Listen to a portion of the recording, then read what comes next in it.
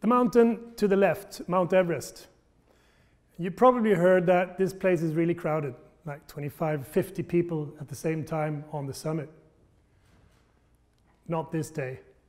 This day on 11th of May 1990, there were four people that summited. And three of them had already been on the summit on the way down. One of them was my friend, Mikael. He became the first Swede on the summit of Everest. There was an American and an Australian. So I was a bit slow. I was five hours after them. And I think I was probably feeling the most lonely person on this planet, being all alone on the summit of Mount Everest. Um, of course, happy, crying, laughing, but you know, I knew that you know this is just halfway. And you probably heard about climbing up mountains. It's you know ascending mountains. It's it's tough. I think it's a lot tougher coming back down again. You know, I tried to call my girlfriend, you know, on the VHF on the satellite phone back in Sweden, and try to talk to her. I'm on the summit, but she was with the car at the mechanic, so she didn't answer the phone. um, so I started climbing down instead. Uh, four years later, we did a, a, go on the mountain to the right, which is the fourth highest mountain. Uh, it's called Lhotse. It's 8,516 meters. And it's pretty tricky, a lot more technical climb than Mount Everest because there's a couloir leading up 500 meters, pretty steep from the last camp to the summit. And it's a mixture of ice, rock, and, and um, snow. So we, we summited way too late in the evening, uh, took some pictures. We know, knew that this was way too late, but we knew that there's no way we can get lost because there's only this couloir leading straight down to our tent. So we took the pictures and, and uh, you know, uh, having a good time um, up there, you know, as good as you can have. It was pretty foggy, and this picture is taken uh, by another climber from Everest, actually.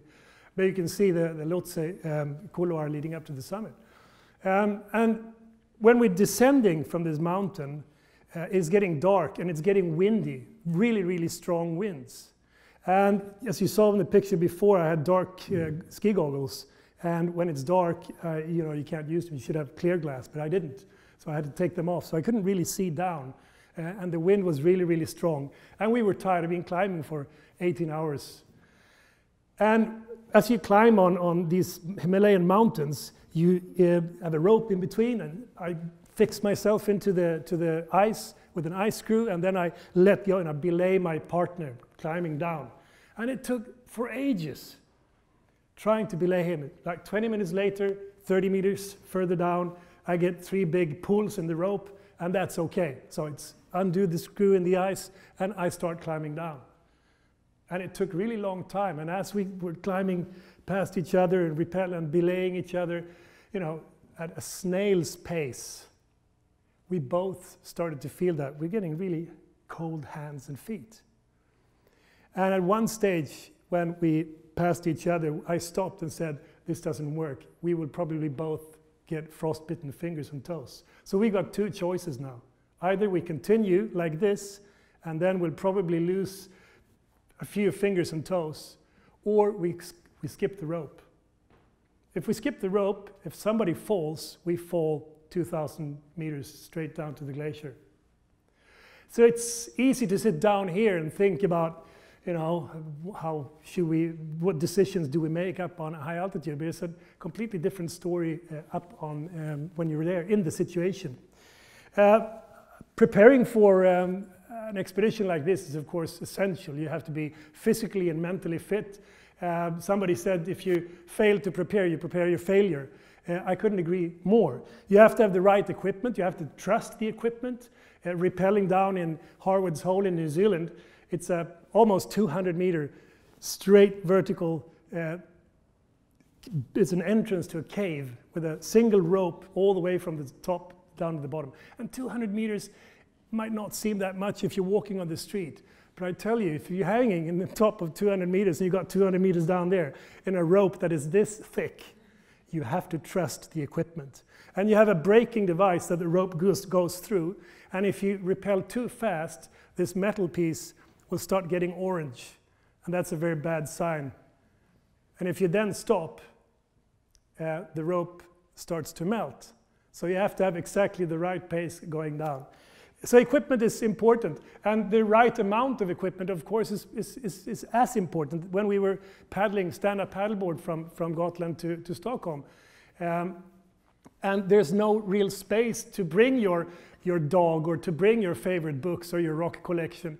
I mean, we do we, we you know, take away everything that's not necessary. You know these washing labels in, in your clothes? Do we need to know that it's 30 degrees hand wash out in the middle of the Baltic Sea? No. And that weighs a little bit. And breaking the handles of the toothbrush. Actually, that was before. Now we just bring floor tablets and leave the toothbrush at home. And if you're climbing a mountain up and down many times, as you do acclimatizing, all these little things that weigh if you put them in a pile, it'll be quite a few kilos in the end. And how can I be 100% mental focused on the mission if I know I'm carrying a lot of rubbish? We collected um, small nets behind the, the, the stand-up paddleboards on part of the ways we um, collected samples of microplastics. And unfortunately, there's quite a lot of microplastics in the Baltic Sea. Um, the longest distance was between two islands, took 16 hours uh, uh, without break, uh, and I had just had to take a picture of myself when I um, came to that island. I did a few other rowing projects, like uh, rowing across the, the, the, Baltic Sea to Finland. Um, I get, got tired of sitting in the, in the rowing machine in the gym, and how fun is that? I mean, on a scale from 1 to 10, the rowing machine in the gym about minus 42, isn't it? Uh, a lot better to, to be out rowing in the, in the, in the um, real, um, on the water. But I didn't have a clue if I was going to make it all the way to Finland. I'd never rowed that far before, but I tried. I tried, I started off. And I think we need to be more open to failure. I mean, failure to me is not not coming up on the summit, not ascending, climbing a mountain failure for me is not coming back down from the mountain. So if we don't make it all the way, well, I tried, and I think we need to try more. Now, uh, 75,000 strokes with the oars, and two weeks uh, later, I arrived in the land of the Moomin, which was quite nice. Uh, I'm going to make you the expedition leader of uh, uh, an Everest expedition. And you are now the expedition leader, and you're going to hire the people around you that are going to climb the mountain. So what people do you hire? Climbers. Yeah, okay, okay. Course, to hire climbers. But let's dig a bit deeper than that. You are still the expedition leader and you're going to hire people for an expedition to Everest. What are the most important qualities? What are the most important personal qualities in the people that you would hire to climb on to the highest mountain in the world? Well, I've done uh, some very unscientific research, and I've looked through a lot of the groups that I've been involved in throughout the years, and, and I'm getting pretty old. Uh, and I'm come up with this. You need a person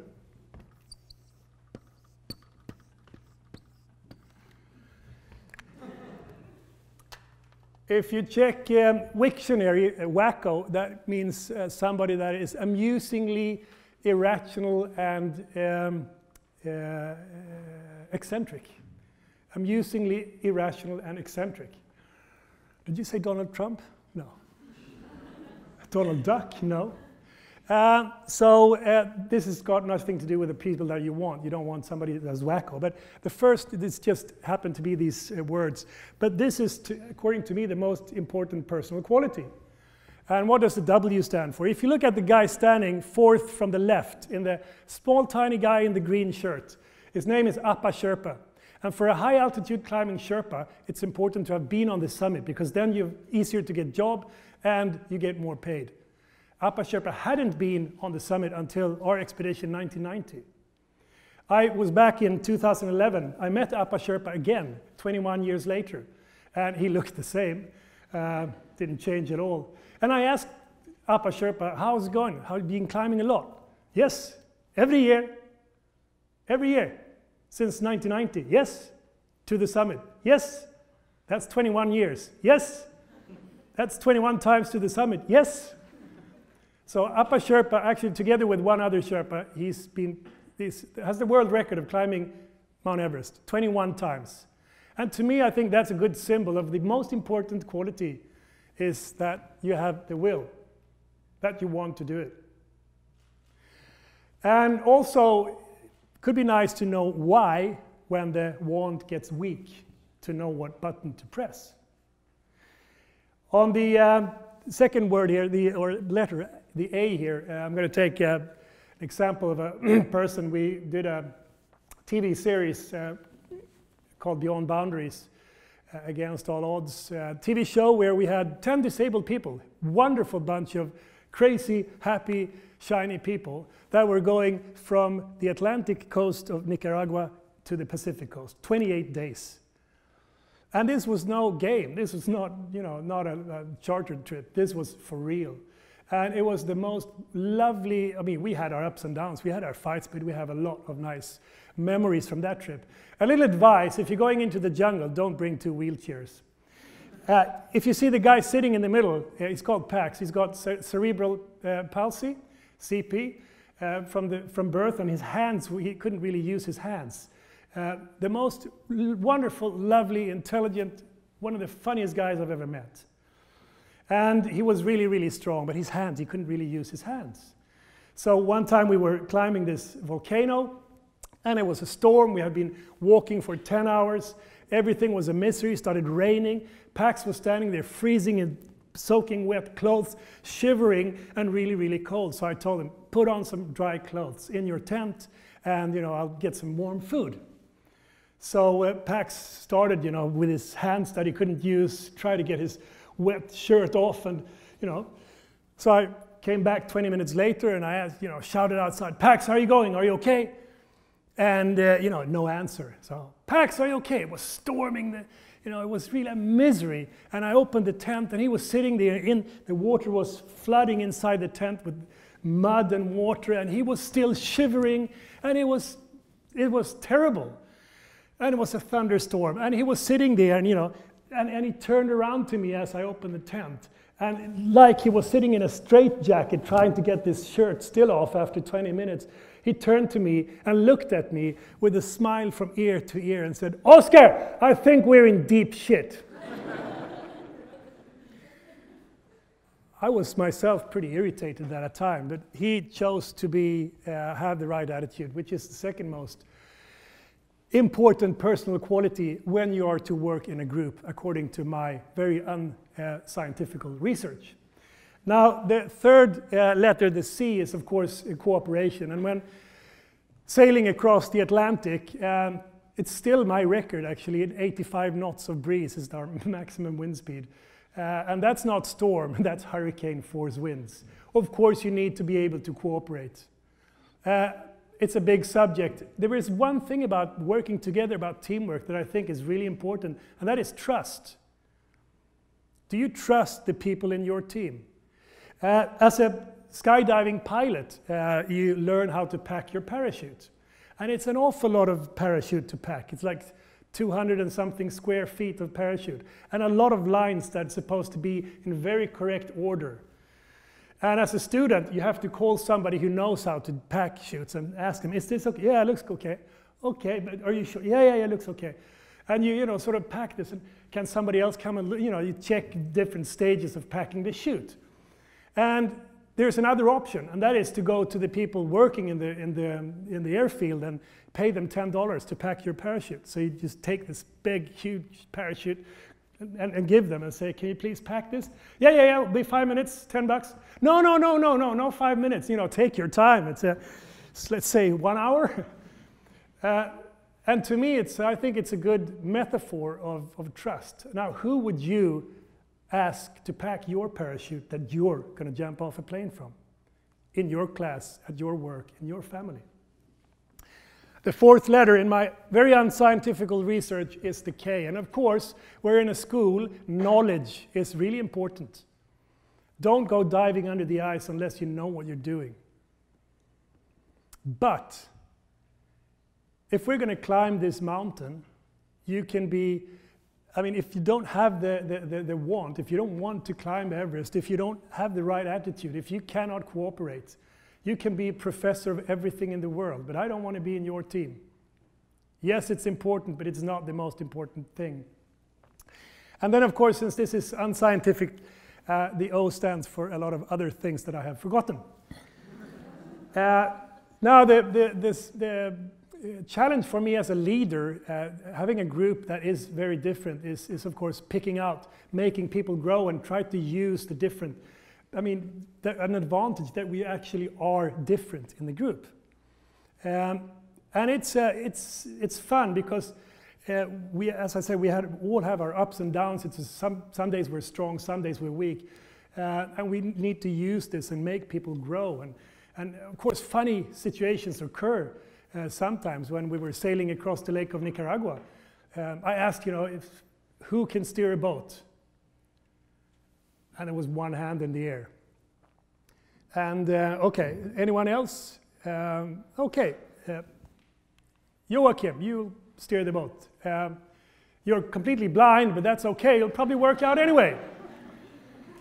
now, I didn't think that blind people could steer boats because they don't see anything, but he heard the waves and he felt the wind in his face. And he had this little compass watch that, you know, okay, it wasn't dead straight. It was a little bit like this. But we came where we wanted to, and I think it's all right. Now, when I talk to children, I never get the, answer, the, the question, why did you climb Mount Everest? Or why did you take your longboard from Stockholm to Gothenburg? For kids, adventures is obvious. They ask, how far could you see standing on the summit of Everest? You know, how many uh, birds, what, what uh, wildlife did you see, and whatever. But they don't question why you climb Everest. Adults do, yes. And why I climbed Everest in those days was a lot of attention recognitions. Look at me. That driving force was strong. Uh, today it's more about, you know, the amplitudes of life that are, you know, a, a rainy Tuesday, it's not much happening, it's not much up or down. To me, doing adventure is about stretching the amplitudes of life and living a little bit more. When it's hard, it's really hard. It's storm on the ocean. Or you're standing paddling somewhere, God knows where. And it's really down here. It's hard work, but then you get the reward up here. You get religious, waking up on a, in a tent 3.30 in the morning with the, with the sun shining in through the tent. You have some birds singing. So for me, adventure is, you know, living a little bit more. And we chose on Lhotse to actually to skip the rope and to climb down each other one by one. And eventually we, we ended up uh, in our camp, eventually down to base camp and uh, had a great expedition. Uh, unfortunately, now my climbing partner is not alive anymore. He committed suicide many years ago. The year before this expedition, another person died on the mountain. Two years after this expedition, uh, two climbing friends, Rob Hall and, and Scott Fischer, died on Everest. And people die. People die skydiving, I have friends dying, dive, dying. And that's part of life. Uh, I wake up every morning, almost every, well, I wake up every morning, but I ask myself almost every morning a question, and that is if I'm happy with the life I've lived so far. And almost every day, the answer is yes. I could actually die today and be happy, content with the life that I have lived. So, lesson learned from people dying, and people die from cancer and all different sort of disease. Lesson learned is to live a little bit more. Let's go out, jump out airplanes. Just make sure you trust the one who packed your chute. Let's be wild and crazy. Let's not work too much. Let's play hard. Let's have fun. Let's go climb a mountain. Go outside your comfort zone and live life. And remember, if you end up deep in shit, don't remember to don't forget to smile. Thank you.